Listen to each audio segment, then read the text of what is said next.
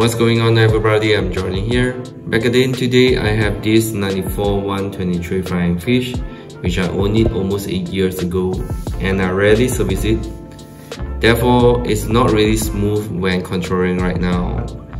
So today I'm gonna service it, clean it, and I will change the new rear frame of this car, which I got it online, it's about $42 and uh, this is also benefit to one of my plans video later uh, which is a top speed test with 4S LiPo battery.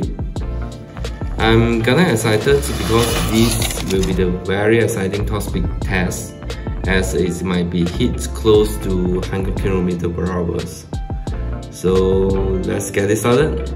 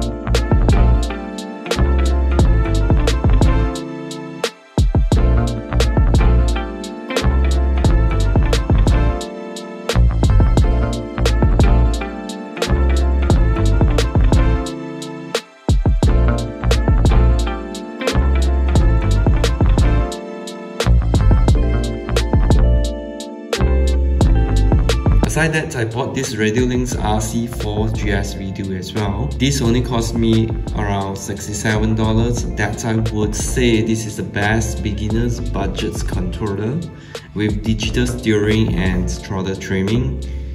From the specs, it says it supports controlling your cars up to 400 meters apart from your standing point Perhaps I will find out in the next video and see whether it is really up to 400 meter or not.